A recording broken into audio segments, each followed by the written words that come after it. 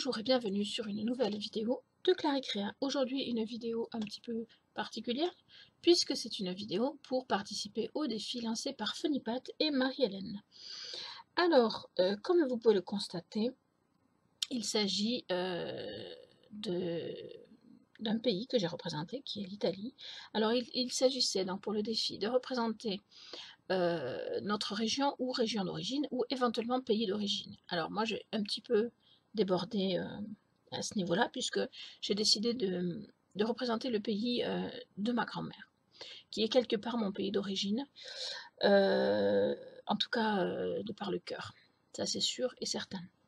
Et j'ai souhaité représenter, alors au début je m'étais dit je vais représenter l'Italie et puis je vais y représenter des monuments. Alors j'avais déjà l'idée de comment représenter par exemple le Colisée, mais c'est vrai que ça aurait fait petit puisque euh, le, Rome c'est à peu près par ici je crois hein, euh, j'ai essayé de me documenter un petit peu hein, avant de voilà. Mais euh, mais en fait je manquais un peu de temps parce que je pense que je l'aurais fait mais j'ai manqué un peu de temps faire le colisée faire une gondole faire des choses comme ça. Et puis en même temps ça m'a paru un petit peu loin de ce que de comment je me représente l'Italie puisque l'Italie je me la représente à travers ce que j'ai vécu avec ma grand-mère c'est-à-dire, euh, alors il y avait le patois euh, que ma grand-mère et mon arrière-grand-mère parlaient entre elles.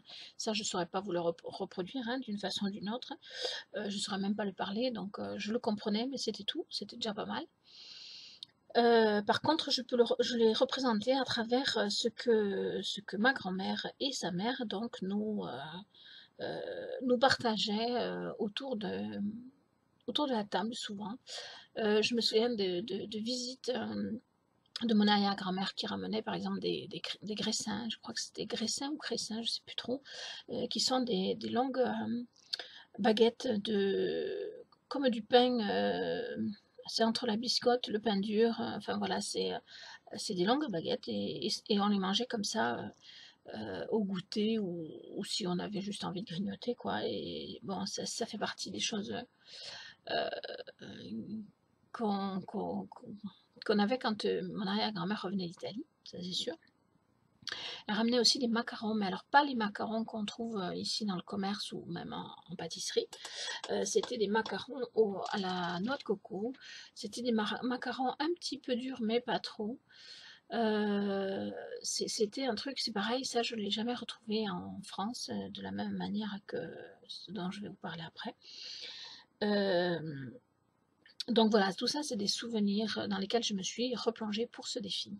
Alors, vous l'aurez compris, ici, euh, c'est euh, une photo de ma grand-mère. Alors là, malheureusement, elle ressort pas bien parce que là, je l'ai résinée dessus et la résine a, pénétré le, papier et du coup, c'est pas joli. Donc, je remettrai une, photo de ma grand-mère par-dessus, hein, tant pis. Mais parce que, voilà, mais ce n'est pas très grave. Alors, j'ai fait le le porte-photo euh, en jaune, puisqu'il fallait un peu de jaune dans la, euh, dans la réalisation, et que il n'y avait que là que je pouvais le mettre, hein, puisqu'après, bon, j'ai bien mis un peu de jaune ici et ici, mais enfin, c'est vraiment très très léger, quoi. Alors ici, ça représente le Chianti, qui est une boisson euh, que, pareil, on nous ramenait souvent d'Italie, et qu'on buvait comme du petit lait, tellement c'était bon. Enfin, pas trop, parce que c'est quand même alcoolisé. Voilà, euh, je, me souviens d'un goût très euh, doux, très agréable, euh, un goût qui vous réchauffe le cœur en fait. Voilà, donc j'ai jamais retrouvé ce goût-là dans, tout ce que j'ai pu boire en France.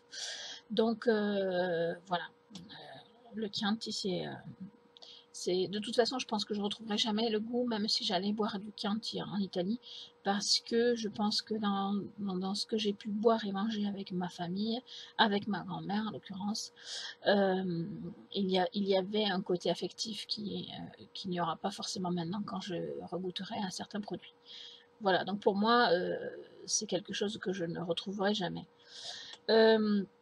J'ai également, euh, ben, vous vous en doutez, euh, représenté les glaces, parce que les glaces italiennes, c'est juste une tuerie. Euh, j'ai eu l'occasion de les goûter quand je suis allée, lors de mon séjour en Italie, je suis allée à Rome. Rome qui doit se situer par ici. Et, donc, je ne pouvais pas ne pas les représenter parce que c'est les glaces italiennes, c'est un peu comme les frites en, Belgique, hein, incontournable. Et ici, j'ai voulu représenter, c'est une assiette donc avec des gnocchi qui sont, euh, pareil, euh, une tuerie, mais parce que c'était les gnocchis de ma grand-mère. C'était les gnocchis euh, que l'on faisait le dimanche, quand on arrivait chez ma grand-mère, on se mettait sur sa grande table et alors, on lui donnait tous les ingrédients et elle, elle faisait la pâte à gnocchi et nous, on faisait les gnocchis parce qu'une fois que, une fois qu'ils sont, euh, que la, pâte est prête, on fait un boudin, on coupe euh, des petits morceaux et puis on les passe sur une fourchette pour leur donner leur, leur forme. Et donc, euh, ben, on s'y mettait à tous, et la table, euh, ben, tant que la table n'était pas remplie, on n'arrêtait pas. Une fois que la table était remplie, on mettait l'eau à chauffer, et on faisait cuire les gnocchis, et on les mangeait ensemble. Ça prenait plus longtemps de les faire que de les manger, rassurez-vous. Ça, euh, c'est une certitude, tellement c'était bon. Voilà, donc ça faisait partie un peu d'un rituel qu'on faisait régulièrement chez ma grand-mère. Donc voilà, j'ai souhaité représenter un petit peu tout ça, et ça m'a permis de ben, de me replonger un peu dans mes souvenirs d'enfance, euh, dans ces choses-là, voilà. Et puis, euh, j'ai adoré faire cette botte, même si ça m'a pris du temps, euh, énormément de temps pour faire la botte. J'y ai fait un fond, alors je vais essayer parce que tout n'est pas encore bien sec. j'ai fait un fond noir. Si vous regardez la botte comme ceci, ça fait vraiment la botte de...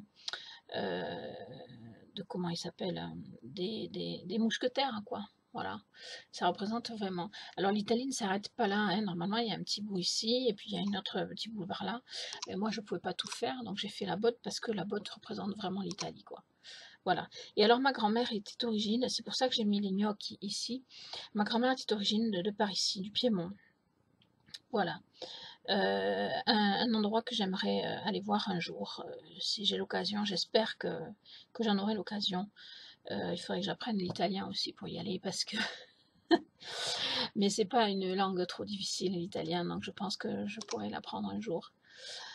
Voilà, euh, j'espère que ce petit voyage euh, vous aura plu. Je vous laisse regarder ben, à la suite le tuto de tout ça. le tuto, cette vidéo, elle fait une bonne trentaine de minutes, voire peut-être un peu plus.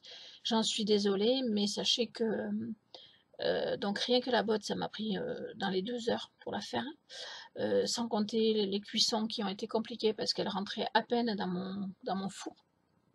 Voilà, donc la première partie, ensuite la, la semelle, voilà, ça m'a pris du temps, puis après tout poncer, etc. Là, je l'ai verni un petit peu parce que c'est quand même pas évident de penser comme il faut. Il y a, des petites. Euh, et puis c'est ce qui fait son charme aussi, parce que c'est un pays, c'est pas tout lisse, quoi. Voilà. Donc, euh, ben voilà, j'espère que euh, cette réalisation vous aura plu et que vous, vous aurez pu rentrer un petit peu dans mon, dans mon univers d'enfance. Voilà. Donc, je vous laisse avec le tuto et puis je vous remercie de me suivre.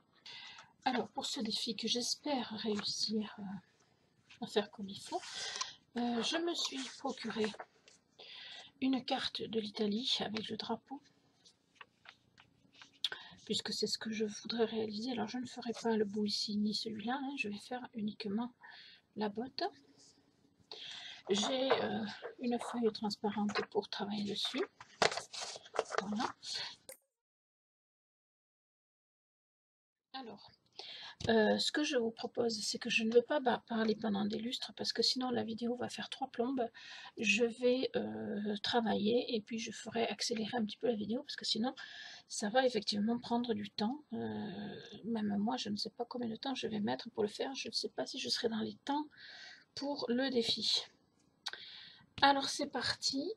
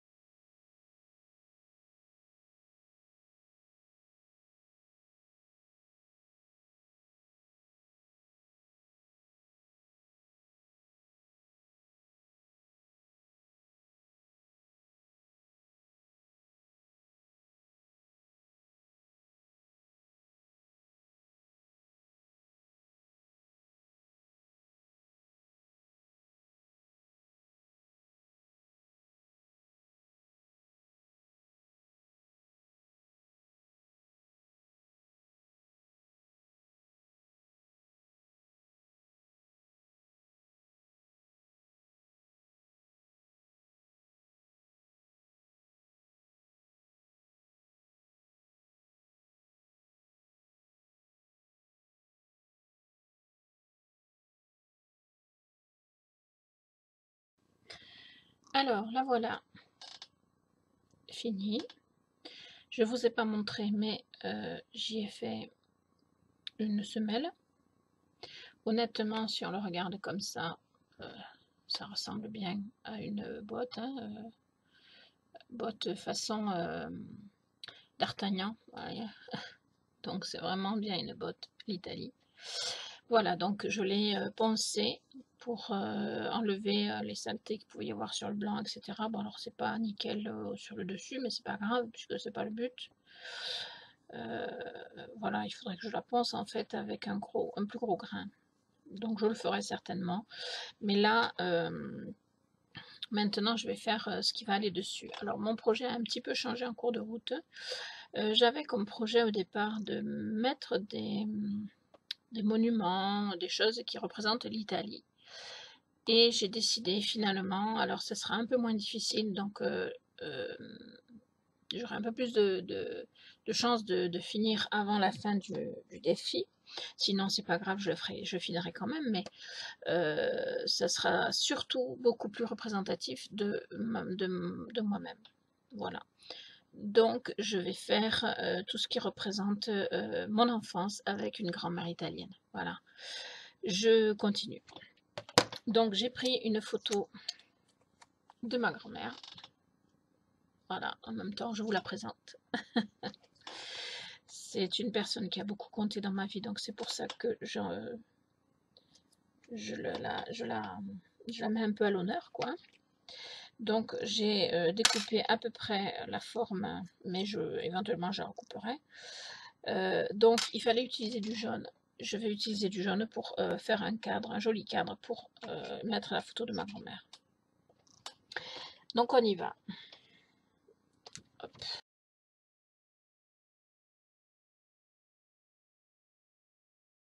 Donc il y a des petits passages comme ça que je vais vous passer un petit peu en accéléré aussi, hein, parce que ça sert à rien de... Sinon euh, la vidéo ferait vraiment 3 heures, parce que rien que la botte, rien que le dessus de la botte, ça m'a pris une heure. Hein. Je ne vous parle pas du, du, fond, je ne vous parle pas du ponçage.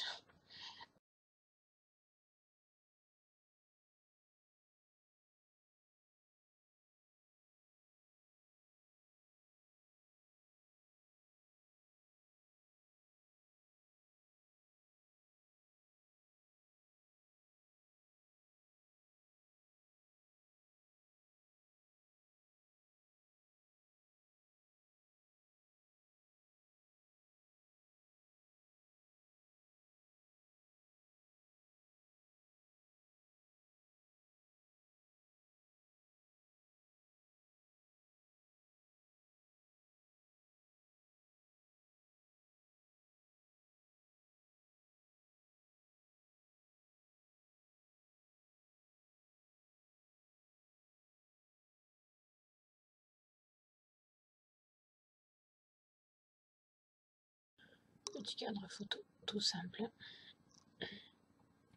que je vais mettre en cuisson. Alors je prends un peu de blanc porcelaine.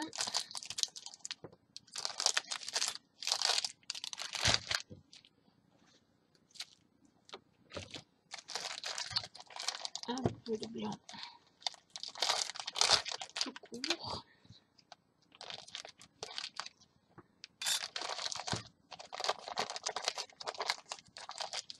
Et maintenant, je vais faire une assiette. Donc, je n'ai pas besoin d'autant de blanc porcelaine. Je vais en prendre que la moitié de ce que j'ai coupé. Et je vais mélanger.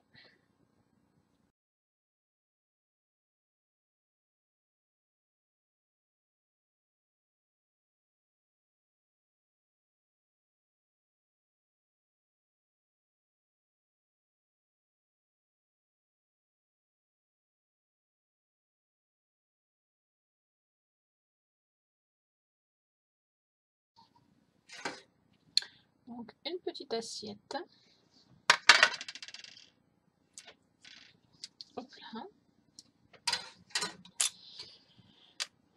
Dans laquelle je vais mettre. Alors je me resserre un peu du jaune, vous voyez, mais ça sera pas très très visible, je pense. D'ailleurs, je vais pas en prendre autant.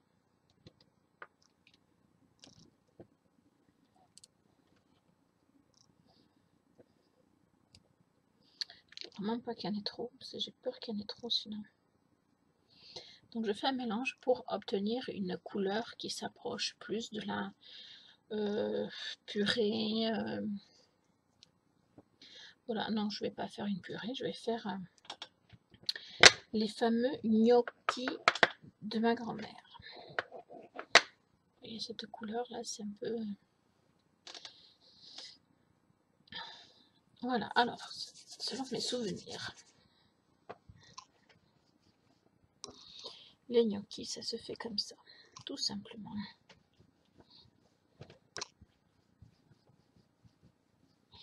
Alors, faut pas que je les fasse trop gros par rapport à ma mon assiette.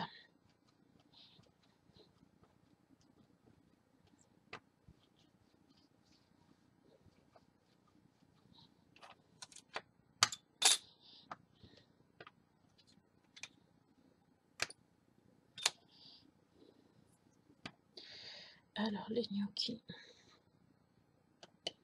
C'est pas plus gros que ça.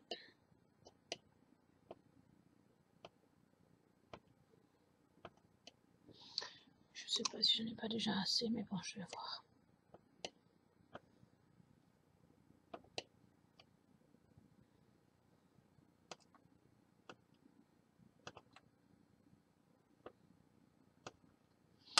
Je pense que j'en ai assez je vais essayer d'utiliser ceci pour euh, marquer mes gnocchis. Parce qu'alors, normalement, on prend une fourchette, hein, c'est une astuce euh, italienne. Et euh, alors, il faut savoir que les gnocchis, c'est fait avec de la purée, des œufs et je ne sais plus trop quoi. Les vrais, ceux, les italiens, pas ceux que vous trouvez dans le commerce qui sont pas très bons. Enfin, quand on a goûté les vrais. Euh, on le positionne sur la fourchette, comme ceci, et on le fait tourner. Mais là, ça ne le marque pas. Donc, je ne sais pas trop comment je vais faire pour le marquer. Comme ça, à peu près. C'est pas tout à fait ça, mais... Euh,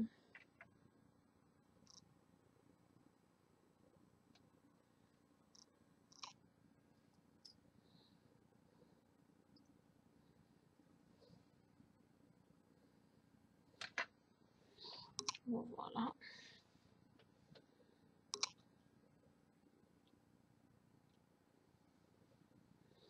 On va dire que ce sont des, bons gnocchis de ma grand-mère.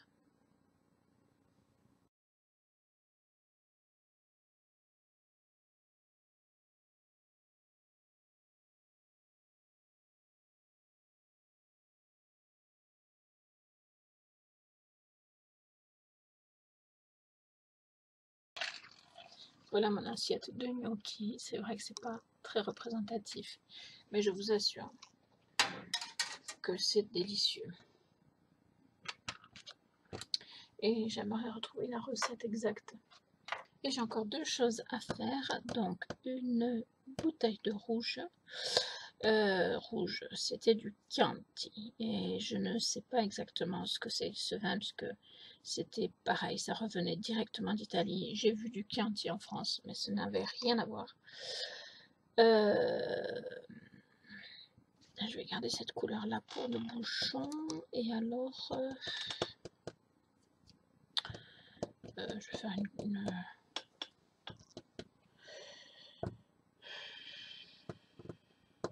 Ouais, je vais faire... Ouais, mais il est là, mon noir.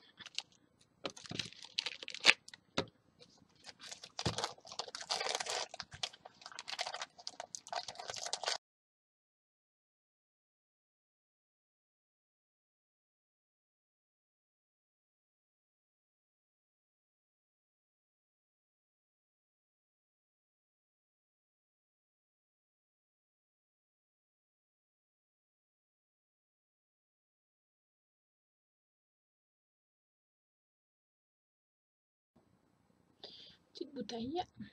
On va y mettre une petite étiquette, bien sûr. Alors, on va prendre juste un petit bout. Pas la peine d'en prendre trop. Et on va y faire une petite étiquette. Mais pour faire une petite étiquette, sachant que normalement c'est écrit dessus.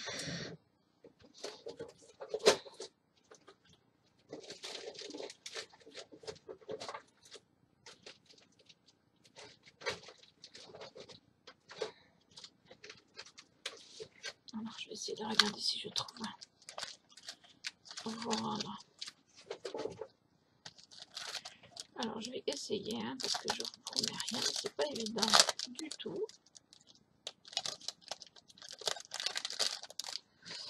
Voilà, donc je prends le petit tampon écriture et je vais essayer de faire quelque chose de pas trop moche.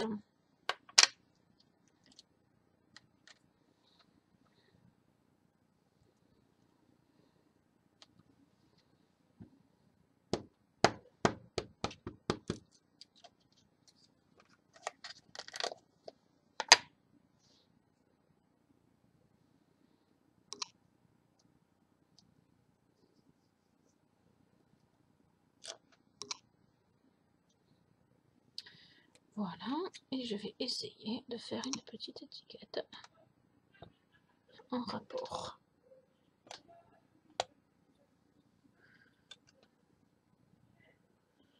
Voilà.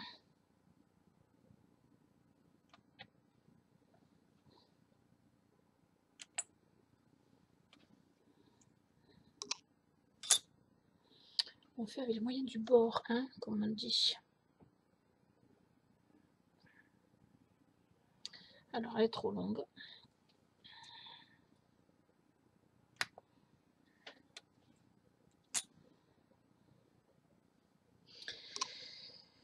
Hop là.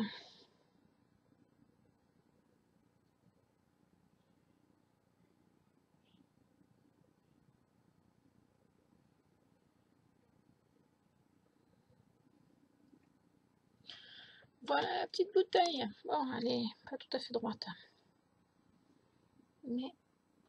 mais, ça va aller.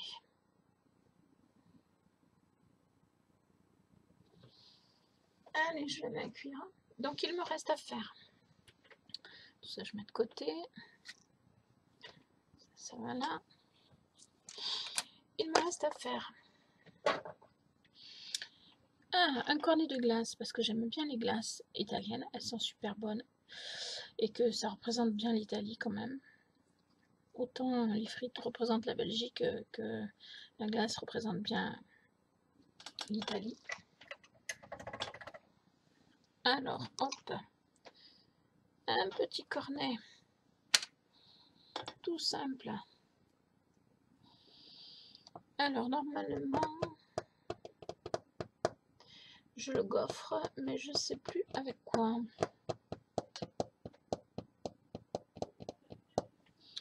Je vais le gaufrer avec un petit euh, avec un petit tampon c'est pas vraiment fait pour mais.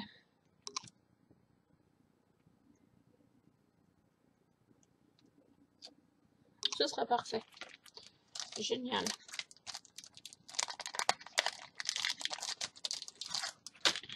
Alors regardez-moi ce gaufrage.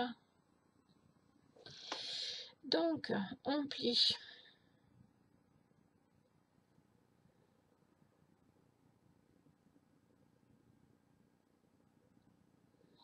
Pour faire un cornet. Comme ceci.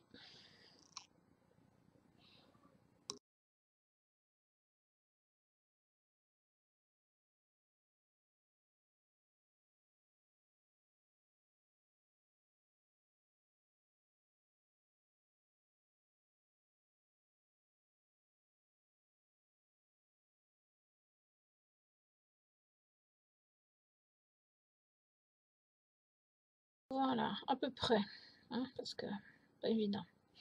Donc pareil, je vais faire euh, cuire. Donc, je mets tout ça en cuisson et je vous montre après sur la botte. Et voilà le résultat comme je vous l'ai montré au début avec les explications de ce que ça représente pour moi. Euh, j'espère que cette vidéo, euh, même si elle est un petit peu longue, vous aura plu. Je vous remercie de m'avoir suivi et je vous dis à bientôt pour de nouvelles vidéos.